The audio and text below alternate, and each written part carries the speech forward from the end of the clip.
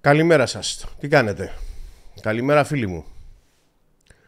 Καλημέρα στο κλαμπ του, του χεριού του Θεού. Στους 260 εκλεκτούς. Και αυτούς που... Καλημέρα και σε αυτούς που βλέπουν το βίντεο και δεν κάνουν subscribe για κάποιο λόγο. Δεν πειράζει. Ελπίζω να είστε όλοι καλά. Να πίνετε τον καφέ σας. Πίνω και εγώ τον καφέ μου. Μεγάλο ξενύχτη χθες. Δύο παιχνίδια. Το ένα ξεκίνησε 5 η ώρα. 5, 5 και δεν θυμάμαι τι ώρα ήταν. Ήπια 4-3, 4 Red Bull για να μπορέσω να διατηρηθώ σε μια κατάσταση για να μπορώ να δω παιχνίδια. Γιατί ε, μπορεί να είσαι. Να, μην κοιμάσαι, αλλά μπορεί να κάνεις τίποτα τέτοια και τίποτα αλλιώς. Και στο τέλος να έχει τελειώσει το παιχνίδι και να μην έχεις ε, καταλάβει τι έχει γίνει. Να ξυπνήσεις στο τέλος. Το θέμα είναι να δεις το παιχνίδι. Να το δεις. Λοιπόν, να πούμε λοιπόν ότι χθες είχαμε μια πολύ μεγάλη νίκη των Celtics μέσα στο Milwaukee με 95-108. Θυμάστε τι λέγαμε χθες; Θυμάστε τι έλεγα χθες; Έλεγα ότι είναι μια σειρά στην οποία δεν υπάρχουν προγνωστικά. Και είπα μόνο ότι αν μου έβαζε το πιστόλι στον κρόταφο θα διάλεγα νικητή. Αυτό αποδείχθηκε για άλλη μια φορά. Είναι η τέταρτη φορά που σπάει η έδρα. Δηλαδή, προσέξτε να, να δείτε τι έχουμε σε αυτή, την, σε αυτή τη σειρά. Το εξής καταπληκτικό. Έχουν γίνει έξι μάτς και τα τέσσερα είναι νίκες των φιλοξενούμενων. Δεν θυμάμαι και δεν θέλω να ρισκάρω να πω πότε έγινε κάτι τέτοιο τελευταία φορά. Πραγματικά δεν θέλω να το, να το ακουμπήσω. Απλά δεν θυμάμαι πότε έγινε κάτι τέτοιο τελευταία φορά. Κερδίζω εγώ, κερδίζεις εσύ. Κερδίζω εγώ στην έδρα σου, έρχεσαι. Μου παίρνει, φέρ την έδρα. Πάρ την έδρα, φέρ την έδρα, πάρ την έδρα. Απίστευτο.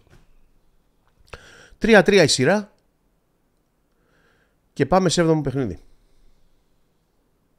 Θα τα πούμε για το 7ο παιχνίδι. Αλλά να τα πάρουμε όλα από την αρχή. Να ξεκινήσουμε με τους νικητές να ξεκινήσουμε με τους νικητές. Η, νίκη των, η χθεσινή νίκη των uh, Celtics ακούει στο όνομα του Jason Tatum. Κακά τα ψέματα. Αυτό που έκανε χθες ο Jason Tatum είναι πραγματικά απίστευτο. Αυτή η εμφάνιση που έκανε χθες ο Jason Tatum νομίζω ότι έχω την εντύπωση ότι πρέπει να είναι και η μεγαλύτερη εμφάνιση της καριέρας του. Έχει βάλει και 60 πόντους, αλλά άλλο να βάζει 60 πόντους σε ένα παιχνίδι της κανονικής σεζόν. Που εντάξει. Και άλλο να βάζεις 46 πόντους σε παιχνίδι κερδίζεις ή πας σπίτι σου μέσα στην έδρα των πρωταθλητών. Νομίζω λοιπόν ότι είδαμε το μεγαλύτερο παιχνίδι στην καριέρα του Jason Tatum, εκτός και αν έχω κάνει κάποιο λάθος που δεν νομίζω να κάνω λάθος αυτό. Αν θέλετε να με διορθώσετε, μπορείτε μετά στα comments. Πριν συνεχίσω, να δούμε κάτι, θέλω να το δούμε μαζί αυτό. Πάμε να το δούμε μαζί αυτό.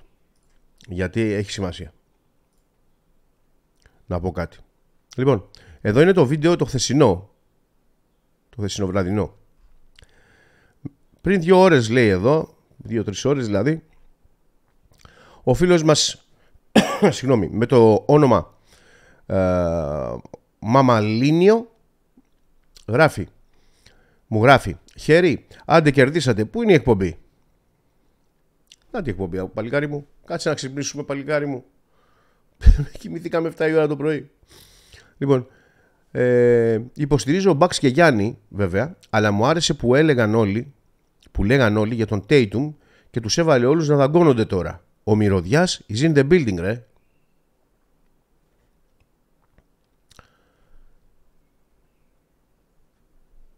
Φίλε Μαμαλίνιο,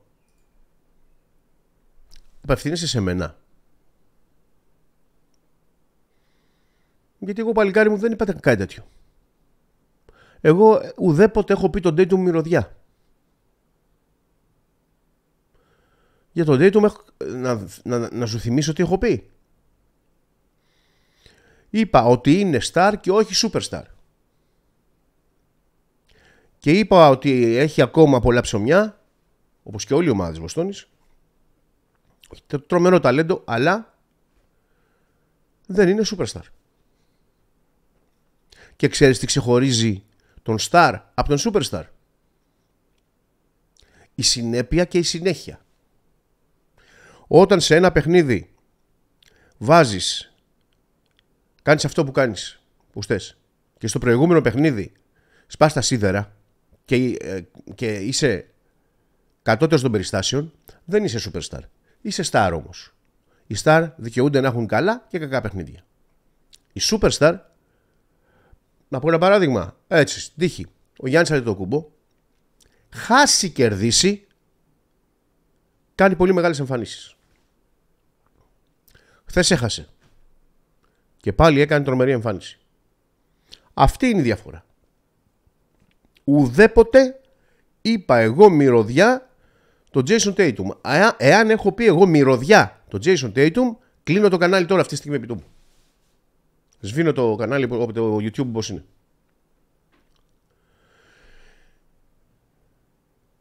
Εάν δεν απευθύνεσαι σε μένα φίλε Μαμαλίνιο Ζητώ συγγνώμη, απλά σε περίπτωση που απευθύνεσαι σε μένα οφείλω να υπερασπιστώ τον εαυτό μου. Έτσι. Αυτά για τον ε, Jason Tatum και για το φίλο μας και το σχολείο του. Τι είδαμε λοιπόν χθες; Αυτό που είδαμε χθες και πάμε ξανά εκεί. Είδαμε αυτόν τον παίχτη, τον Jason Tatum, να κάνει την... Αυτά δηλαδή τα νούμερα που έγραψε χθες είναι εξωπραγματικά. 46 πόντους, το βλέπετε κιόλας έτσι δεν είναι καλά, δεν φαίνεται. Νομίζω ότι φαίνεται αρκετά καθαρά. 46 πόντους με 17 στις 32 προσπάθειες. Το βλέπουμε έτσι. Με 17 στις 32 προσπάθειες, 7 στα 15 τρίποντα, 9 rebound, 4 assist, 1 block και 4 λάθη. Μόλις 4 λάθη. Μόλις 4 λάθη όταν έχει πάρει 32 προσπάθειες και πόσες άλλες δεν έχει πάρει ενώ η μπάλα πέρασε από τα χέρια του. Νομίζω 5 ε, στις 7 βολές. Νομίζω ότι είναι... Ναι, τώρα δεν, δεν, δεν νομίζω ότι κάνω λάθος. Είναι η μεγαλύτερη εμφάνιση της καριέρας του. Φοβερά πράγματα. Το να, το να βάλεις 46 πόντους με 53,1% εντός παιδιάς είναι εξωπραγματικό και 46,7% στα τρίποντα.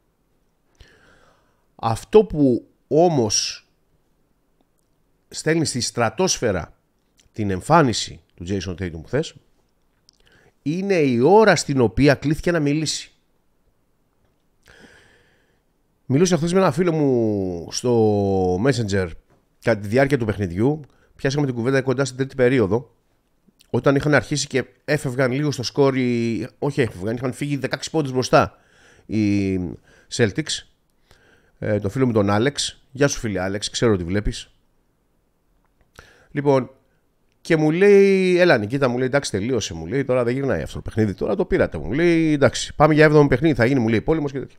Του λέω περίμενε, Άλεξ του λέω, διότι η τέταρτη περίοδος είναι το, εκεί που καίει, και, και είναι τα κάρβουνα που λένε. Στην τέταρτη περίοδο είναι το μεγάλο πρόβλημα. Γιατί και στο προηγούμενο παιχνίδι εκεί έγινε, εκεί βουλιάξαν οι Celtics. Στην τέταρτη περίοδο. Και πραγματικά με το που έφτασε η διαφορά στους 16-18 πόντους, δεν θυμάμαι πώς έφτασε, βλέπουμε τους Celtics να, να κατεβάζουν, να κάνουν επιθέσεις, γύρω δύο-τρεις πάσες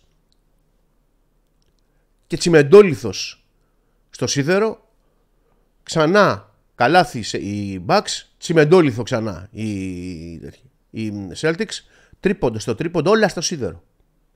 Με αποτέλεσμα να πάει διαφορά που νομίζω στους τέσσερις.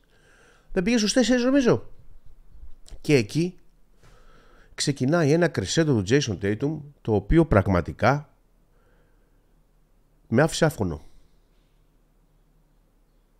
Με μία αυτοπεποίθηση που εγώ από το συγκεκριμένο παιδί δεν την έχω ξαναδεί βομβάρδισε στην κυριολεξία το καλάθι των uh, Bucks κυρίως με τρίποντα αλλά και με, κάποιες, και με κάποια drive και γενικώς έβγαλε τόση ενέργεια και τόση αυτοπεποίθηση που λέω, ο πάρε φίλε, τι κάνει ο άνθρωπος; Πω, πω, πω, τι είναι αυτό; Μας εξέπληξε όλους θε ο Jason Tatum. Και μην μου πείτε ότι περιμένατε να κάνει αυτά ακριβώς που έκανε. Έτσι. Γιατί, συγγνώμη, αλλά δεν θα σας πιστέψω. Απίστευτος Jason Tatum. Όπως κάνουν και στο baseball. Που βγάζει το καπέλο. Αυτό έγινε. Αυτή, αυτός είναι πρώτος και ο κύριος λόγος για τον οποίο νίκησαν χθες οι Celtics. Ο δεύτερος λόγος για τον οποίο νίκησαν οι Celtics είναι η αθλειότητα η αθλειότητα την οποία παρουσίασαν Milwaukee Bucks στο παρκέ εκτός από τον Γιάννη Αντετοκούμπο. Να κατέβω λοιπόν εδώ και να πάω στο, στο Milwaukee Bucks. Ο Γιάννης Αντετοκούμπο τελείωσε χθες παιδιά το παιχνίδι με 44 πόντους. 14-30 προσπάθειες. 2 στα 3 τρίποντα. 14 στις 15 βολές. 20 rebound 6 assist. Και 2 τάπες. Εντάξει και έκανε και 6 λάθη εντάξει. 44 πόντους 20 rebound με 2 στα 3 τρίποντα και 15 στις 17 βολές τι άλλο ρε να κάνει ο άνθρωπος; Τι άλλο ρε να κάνει ο άνθρωπος αυτός για να πάρει το παιχνίδι και να πάει στους τελικούς Ανατολής; Ρε δεν τρέπεστε λιγάκι ρε. Πού πήγαν όλοι ρε οι υπόλοιποι; Πού πήγαν όλοι οι υπόλοιποι ρε; 3 στα 10 τρίποτα Τζουρ Χόλιντεϊ με 7 στις 17 προσπάθειες. Γκρέισον Άλεν 1 στα 7, 0 στα 4 τρίποντα. 17 πόντους έβαλε ο Τζρου Χόλντι. 14 έβαλε ο Πατ Κόνεγκτον, ο οποίος ήταν ο μοναδικός που έδειξε ότι μπορεί όταν και η μπάλα να βοηθήσει λίγο το Γιάννη. Ο μοναδικός. Ο Μπόμπι Πόρτη πήρε 10 rebound, 2 επιθετικά σε 29 λεπτά. Γιατί; Και, τους, και έβαλε και πόσους, συγγνώμη, τέσσερις έβαλε. Πέντε δεν έβαλε. Ένα τρίποντο και ένα δίποντο δεν έβαλε. Τελικά το χρεώσαν. Ε, έβαλε δύο συνεχόμενα καλάθια και μετά ξύπνησαν επιτέλους οι Celtics και είπαν: Όχ! Δεζαβού, μην την ξαναπατήσουν από τον Μπόι Πόρτη. Λοιπόν, από εκεί και πέρα,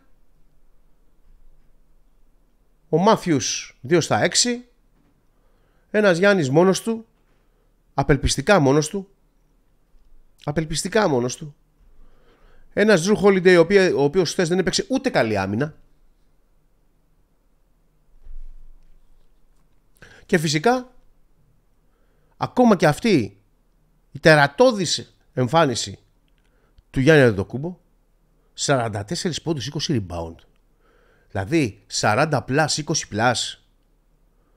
Δεν ξέρω ποιοι, τα, ποιοι, ποιοι έχουν κάνει σε εμφάνιση. πρέπει να έχει κάνει ο Τζαμπάρ τέτοια εμφάνιση. Σίγουρα πρέπει να έχει κάνει και ο, ο Wilt. Μιλάμε τώρα για εμφανίσεις που είναι στα, στις top λίστες όλων των εποχών, έτσι. Το παιδί αυτό έχασε χθες με αυτή την εμφάνιση. Δηλαδή, πας στα αποδητήρια, μετά από αυτά όλα, μέχρι 2 στα 3 τρίποντα έχει. Πας στα αποδητήρια, μετά από όλα αυτά, και κάθεσαι έτσι σκυμμένος κάτω στο, στο πάγκο, στο, πάνω από το φοριαμό σου και έτσι όπως είσαι σκυμμένος σκέφτεσαι τι άλλο να κάνω ρε πούστη. Τι άλλο να κάνω. Συγγνώμη για την έκφραση. Τι να κάνω άλλο. Σε ποιο να μιλήσει, σε ποιο να πει το παράπονο του.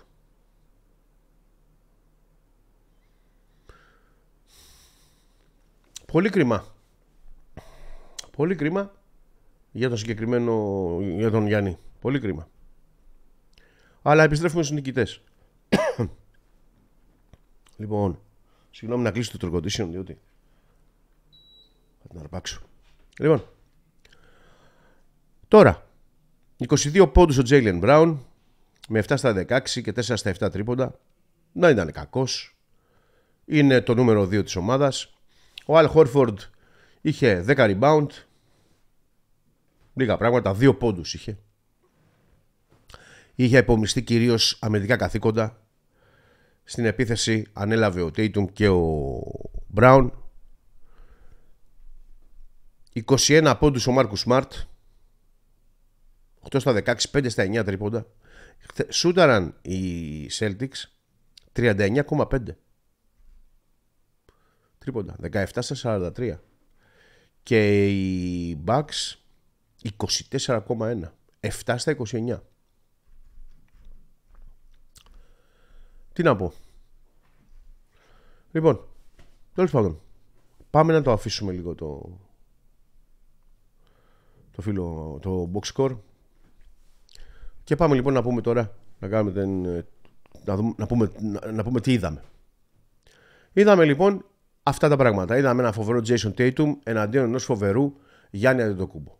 Η διαφορά είναι ότι ο Jason Tatum είχε βοήθεια και τον Brown και τον Smart. Και στην άμυνα όλη σχεδόν την ομάδα. Μόνο ο Williams δεν μου άρεσε καθόλου χθες. Λοιπόν, ο Γιάννης δεν είχε κανέναν βοηθό. Σίδερο, holiday, στο σίδερο, στο σίδερο, στο σίδερο, στο σίδερο. Ρε φιλαράκι τζρου, βάλε ρε φίλε να σουτ. Δεν ξέρω τι θα κάνεις ρε φίλε. Μετά από κάθε προπόνηση κάτσε και σούταρ χίλια τρίποντα ρε φίλε. Όπως έκανε ο μεγάλος Ντράζεν, όπως έκανε ο Τζόρνταν. Δεν μπορεί να γίνει, δεν, δεν μπορεί να συνεχιστεί αυτό το πράγμα δηλαδή. Μέγας αμυντικός, μπράβο, πολύ μεγάλη συμβολή του Έκρινε το πέμπτο παιχνίδι, αλλά το έκτο παιχνίδι και αυτός, αυτός, και αυτός το έκρινε όμως. Έκρινε και το έκτο παιχνίδι, αρνητικά αυτή τη φορά. Και τώρα είδαμε διαβασμένους Celtics. Είδαμε διαβασμένους Celtics. Και είδαμε και Celtics, γιατί ε, δεν ξέρω εσείς από το που παρακολουθείτε, εγώ το παρακολουθώ από το NBA TV. Και το NBA TV δεν έχει διαφημίσεις που έχουν, ξέρω που έχει, δεν ξέρω, υποθέτω έχει η Cosmote TV, η Cosmote TV δεν έχει το NBA, δεν ξέρω. Έχει όλη την, την ε, μετάδοση από την αρχή μέχρι το τέλος. Δηλαδή συνεντεύξεις, ακόμα και το, και το show στο ημίχρονο και κάτι ακροβάτες και τέτοια και όλα. Τα δείχνει όλα. Δεν σταματάει. Δεν, σταμα, δεν έχει διαφημίσεις. Είναι χήμα όλη τη μετάδοση. Είναι υπέροχο αυτό το πράγμα στο NBA TV. Λοιπόν, ε, πριν το παιχνίδι λοιπόν, ο, ε, μια ρεπόρτερ του ESPN, αν δεν κάνω λάθος, που κάλυπτε το παιχνίδι, ε, έχει στα, στη Φυσούνα στο διάδρομο ε, τον ε, Smart και του λέει πώς, τι, τι είναι αυτό το, ποιο είναι το, ποια είναι η νοοτροπία, ποια είναι η ψυχολογία με την οποία μπαίνετε. Και λέει ο Smart ότι η ψυχολογία, η ψυχολογία με την οποία μπαίνουμε είναι ότι τελειώσανε τα ψέματα. Δεν έχουμε κανένα περιθώριο για λάθη. Μπαίνουμε μέσα και κερδίζουμε απλά. Και φάνηκε το παιχνίδι από την αρχή, από τα πρώτα λεπτά, όταν άρχισε να καρφώνει τρίποντα το Smart και λέω αφού τα βάζει ο Smart, κατάλαβα. Θα πάνε καλά οι Celtics. Λοιπόν, είδαμε πάλι ένα Γιάννη να βγάζει τα άντερά του στο γήπεδο. Είδαμε τους υπόλοιπους κομπάρσους να μοιράζουν την καυτή πατάτα. Να περνάει την μπάλα ο... Ξέρω εγώ, ο Μάθιους. Πού είναι ρε παιδιά, Γιάννη, έλα. Πάρε. Ε, holiday δύο-τρεις σταυρωτέ κατά τα πόδια. Έλα, Γιάννη, έλα ρε. Άισο, άισο. Να μπει ο Γιάννης μέσα. Έκανε τέσσερα φάουλ. Διότι τόσες κατοχές Τον περίμεναν όλοι. Ευτυχώς σε κάποια φάση πήγε να την αχτεί το παιχνίδι στον αέρα σε ένα επιθετικό φάουλ που του δίνουν το πέμπτο, που του δίνουν το πέμπτο φάουλ το οποίο δεν υπήρχε πάνω στο Williams. Ήταν λάθος και ευτυχώς που έγινε ε, έκανε επανεξέταση της φάσης ο πάγκος του, του Μιλγόκη γιατί θα έκρινε το παιχνίδι αυτό το φάουλ. Με πέντε φάουλ μετά δεν μπορείς να μπεις χήμα μέσα όπως μπαίνει ο Γιάννης στη ρακέτα. Λοιπόν, ευτυχώς εκεί διορθώθηκε το σφύριγμα. Και φτάσαμε λοιπόν για να μην πολυλογώ. Πόση ώρα μιλάω; Ήδη μιλάω 20 λεπτά. Φτάσαμε λοιπόν στο αποτέλεσμα αυτό. Ε, πάμε στο 7ο παιχνίδι. Το οποίο 7ο παιχνίδι, σύμφωνα με τη στατιστική, έτσι, ξαναλέω, σύμφωνα με τη στατιστική, θα το πάρουν οι Bucks. Αφού από τα 6 παιχνίδια τα 4 τα έχουν πάρει φιλοξενούμενοι. Είναι, είναι μια σειρά στην οποία χτυπάω και με χτυπάνε. Βαράω και με απαντάνε. Απα... Απαντήσεις έχει συνέχεια. Τώρα η σειρά είναι να απαντήσουν οι Bucks. Μη σας κάνει καμία εντύπωση φυσικά πάλι αν οι Bucks κερδίσουν στη Βοστόνη. Καμία εντύπωση μη σας κάνει. Μη σας κάνει εντύπωση αν πάλι βγει από την αφάνεια ο Τζουρ Χόλιντεϊ και βοηθήσει το Γιάννη επιτέλους γιατί ο Γιάννης ξέρουμε τι θα κάνει. Ξέρουμε πολύ καλά τι θα κάνει. Τη δουλειά του θα κάνει πάλι. Πάλι μια 40 θα φορτώσει, θα μαζέψει καμιά 15 20 rebound και θα περιμένει μια βοήθεια από τους υπόλοιπους. Αυτή είναι η ιστορία όλη. Και φυσικά έτσι όπως φαίνεται τώρα εδώ η σειρά φαίνεται και πάρα πολύ η απουσία του Chris Middleton. Που και αυτός είναι βέβαια ένας παίκτης που είναι ή του ύψους του βάθους, αλλά όμως θα ήταν μια εξτρά λύση στο σκοράρισμα. Και στην άμυνα. Γιατί είναι και καλός αμυντικός. Απ' την άλλη μεριά, αυτό το γύρω-γύρω η μπάλα και συνέχεια στο με τρίποντα δεν, βοηθ, δεν δουλεύει σε κάθε, σε κάθε μάτς για τους Celtics. Χθες δούλεψε γιατί ο Tatum ήταν από άλλο, όχι από άλλο πλανήτη, από άλλο ηλιακό σύστημα. Ήρθε, με υπτάμενο δίσκο ήρθε χθες ο Tatum και έπαιξε. Αλλά επειδή ο Williams, ο ψηλός μας ο Williams, είναι τραυματίας και είναι ο μοναδικός ψηλός ο οποίος μπορεί να βοηθήσει λίγο τον Χόρφορντ κάτω από το καλάθι, έχουν θέμα οι Celtics μες στη ρακέτα να μπορούσαν να περάσουν και λίγο την μπάλα μες στη ρακέτα ή να παίξουν μια καλύτερη άμυνα πάνω στο Γιάννη. Αυτά είδαμε χθες.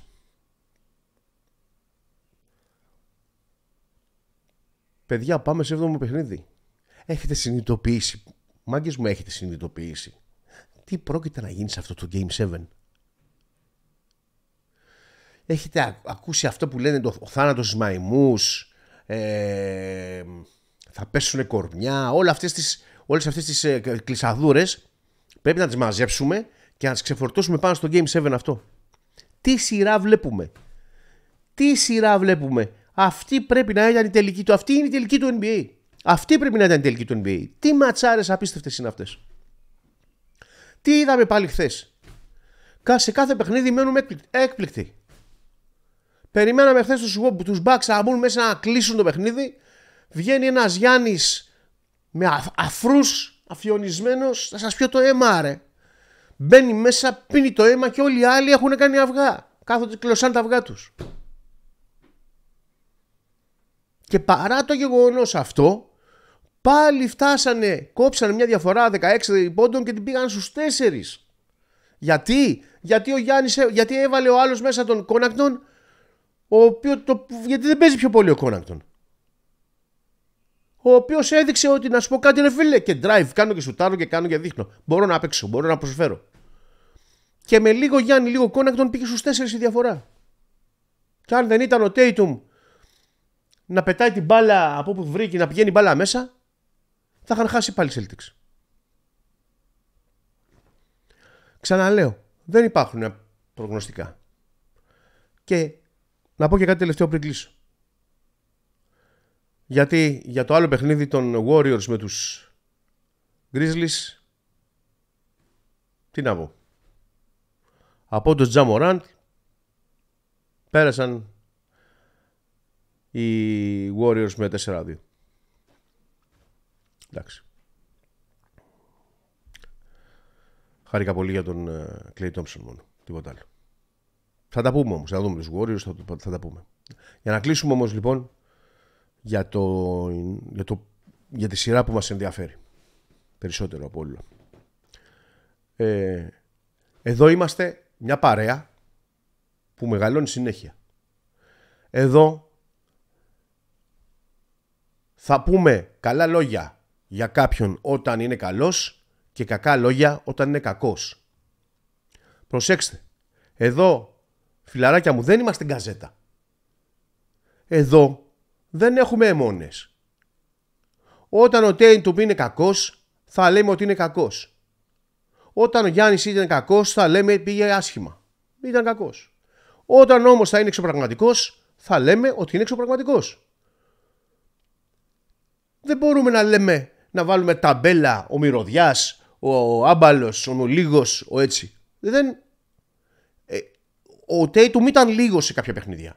Χθες ήταν εξωγήινος. Πώς, πώς θα γίνει; Θα είναι στο επόμενο παιχνίδι; Το ξέρει κανένας; Θα, αν κάνει τέτοια εμφάνιση στο επόμενο παιχνίδι, πέρασαν οι Celtics.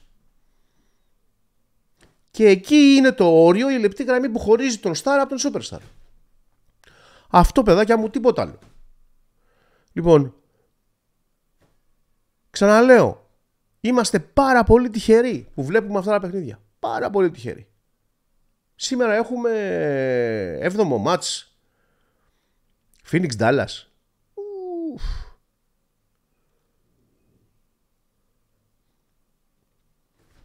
Τι να πω, δεν ξέρω. Για αυτό το παιχνίδι. Δεν, ε, δεν θα πω ντάρτζα κάτι. Λοιπόν, 27-28 λεπτά. Αν κάτσατε και με ακούσατε όλη αυτή την ώρα για την ανάλυση, σας αγαπώ μια φορά παραπάνω. Δέκα φορές παραπάνω. Αυτό που θέλω να ξέρετε, να θυμάστε, είναι ότι εδώ μπορεί να είμαστε Celtics, μπορεί να είμαι Celtics, να είμαστε ένας είναι. Ε, εγώ το τρέχω το κανάλι, δεν το έχει κανένας άλλος. Μπορεί να είμαι Celtics, αλλά κάνω αυτή τη δουλειά από το 1994 και τις παιδικές ασθένειες τις έχω αποβάλει. Θα λέμε πάντα την αλήθεια, θα λέμε όταν κάποιος πηγαίνει καλά, καλά λόγια και όταν κάποιος πηγαίνει άσχημα, θα του κάνουμε κριτική. Χθες αυτοί που πήγαν σούπερ, πήραν τα εύσημα, χθες αυτοί που χέστηκαν πάνω τους έγιναν αντικείμενο κριτικής, σκλήρης. Game 7 Δεν μπορώ να προβλέψω τίποτα. Τι έχουμε να δουν τα μάτια μας. Τι έχουν να δουν τα μάτια μας πάλι που να μην τελείωνε ποτέ αυτή η σειρά. Μπορούσε να ήταν στα 10 νικηφόρα, στα 15. Απίστευτο δηλαδή. Τι, τι απίστευτο. Τι απίστευτες ματσάρες βλέπουμε. Απίστευτες. Λοιπόν αυτά για σήμερα από το NBA. Θα, έχουμε και ένα, θα κάνω και ένα ποδοσφαιρικό βίντεο αμέσως μετά. Να πούμε κάποια πράγματα για τα ξένα πρωταθλήματα. Αλλά ε, να πω ότι με ευχάριστησε πάρα πολύ το γεγονός ότι βλέπω πολλά παιδιά να, αρχίζουν, να, αρχίζουν, να, αρχίζουν να, να δραστηριοποιούνται και κάτω από το, στα comments όπου νομίζω ότι χρήζει απάντησης απαντώ όπως βλέπετε έτσι. Ε, μην πτωείστε οι οπαδοί των, των Milwaukee Bucks. Ξαναλέω από τα 6 παιχνίδια τα 4 τα πήραν οι φιλοξενούμενοι. Στατιστικά οι Bucks θα κερδίσουν λέει, η στατιστική θα κερδίσουν οι Bucks. Λοιπόν μην πτωείστε ε, και μην το είστε κι εσείς στο Celtics γιατί πολύ καλά δείγματα είχαμε σε αυτήν την αναμέτρηση στην, ε, αυτή τα ξημερώματα. Τίποτα άλλο. Αν θέλετε να κάνετε κάποιο subscribe και να βοηθήσετε το χέρι του Θεού θα ήταν ε, θα με ευχαριστούσε πάρα πολύ και θα βοηθούσε πάρα πολύ να απλώσουμε to spread the word που λένε για το κανάλι. Να μαζευτούμε εδώ όλοι οι λάτρες του NBA και του μπάσκετ αλλά και του διεθνών σπορ γιατί όταν θα ξεκινήσει και η ε, σεζόν του NFL θα έχουμε NFL κανονικά. Λοιπόν, ε, κάντε και ένα like, βοηθήστε λίγο τον αλγόριθμο. Τίποτα άλλο δεν έχω να πω. Έχω να πω κάτι άλλο. Ήθελα να πω κάτι άλλο και το ξέχασα. Μιλάω μισή ώρα και ήθελα να πω ακόμα κάτι άλλο. Όχι, δεν ήθελα να πω κάτι άλλο. Ε, θα τα πούμε αύριο πάλι, πρώτα ο Θεός, με ένα review του μεγάλου επίσης μάτς που έχουμε απόψε. Να είστε όλοι καλά. Σας αγαπώ πολύ και χαιρετώ.